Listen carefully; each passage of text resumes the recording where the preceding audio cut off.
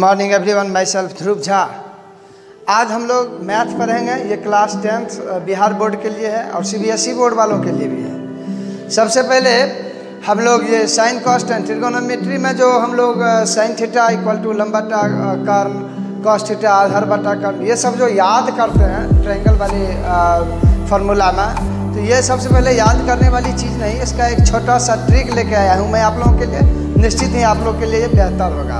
ये अगर सीख लेंगे तो कभी भूलेंगे नहीं। सबसे पहले तो ये जो फार्मूला बनाने का जो ट्रिक है, वो लाल कक्का पे आधारित है। क्या लाल कक्का तो सबसे पहले एल को जो है एल को जो है लंब माने आधार ए से आधार माने के से कारण माने। तो यहाँ देखिए आप।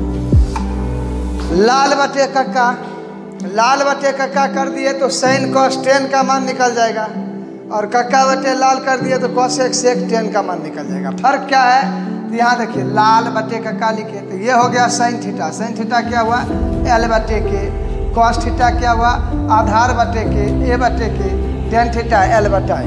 तो बताएँ एल से लंब से आधार के से कर तो अब देखिए, पहले sine theta sine theta L बटा के, यानी एल से लंब के से कर सी बोर्ड वाले एक मिनट समझ समझ लेंगे। कर्ण को इंग्लिश में हाइपोटेन्यूज बोलते हैं, आधार को इंग्लिश में बेस बोलते हैं, और लंब को इंग्लिश में परपेंडिकुलर बोलते हैं। तो यहाँ लंब परपेंडिकुलर यानी पी बाई एच हो गया cos theta cos theta A by के यानी आधार बटा कर यानी बी बाई एच हो गया।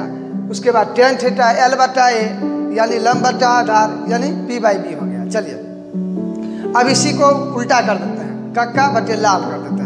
तो कॉसेक सेक टेन लिख देंगे ऊपर। तो कॉसेक थीटा एल बट के बटा एल यानी कर्ण बटा लंब यानी एच बाई पी उसका सेक थीटा के बटा ए यानी कर्ण बटा आधार, यानी एच बाई बी उसके बाद बचा tan theta cot theta sorry यहाँ होगा cot theta cot theta A बटा एल यानी आधार बटा लम यानी बी बाई पी चलिए, अब हम बात करते हैं। इसी, मान लीजिए क्वेश्चन दे दिया। जिसमें जो है एसी की लंबाई फाइव दिया गया है हाइपेटेन्यूज की। बेस दिया हुआ है थ्री यहाँ पे हमको क्या करना है? फाइन बी यानी यहाँ पे लंब ज्ञात करना है परपेंडिकुलर उसके बाद साइन थीटा और टेन थीटा का वैल्यू भी ज्ञात करना है। चलिए इसको सॉल्व करते हैं। जैसा कि हम जानते हैं, सबसे पहले ए बी निकालना है, यानी परपेंडिकुलर तो यहाँ ए बी निकालने के लिए ये फार्मूला लगेगा A C square minus B C square का रूट तो यहाँ ए सी स्क्वायर है फाइव फाइव का स्क्वायर बी सी है थ्री तो थ्री का स्क्वायर का रूट हो गया। तो ये हो गया पच्चीस और माइनस नौ का रूट ये हो गया सोलह का रूट इक्वल टू फोर यानी ए और बी का जो वैल्यू है, ये फोर निकल गया। तो अब सिंपल है, यहाँ साइन थीटा और टेन थीटा मांग रहा है। तो अब निकालेंगे साइन थीटा तो साइन थीटा इक्वल टू यहाँ निकाले हुए हैं लंब बटा कार। लंब बटा कार। इसी को सीबीएसई बोर्ड वाले जो है पी बाय एच लिखेंगे। लंब बटा कर, यानी चार बटे पाँच, ये आंसर हो गया। उसके बाद अब निकालना है टेन थीटा का मान। तो टेन थीटा क्या होता है? टेन थीटा निकाल लिए, यहाँ लंब बटा आधार होता है।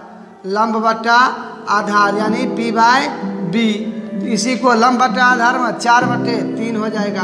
तो यही है, यही इसका आंसर हो गया। तो ये सब क्वेश्चन इसी टाइप पे बनते हैं। और फार्मूला बनाने का जो मेन ट्रिक था, लाल का वो हम समझा दिया है। आज के पार्ट में इतना ही। मिलते हैं अगले पार्ट में। तब तक के लिए जय हिंद।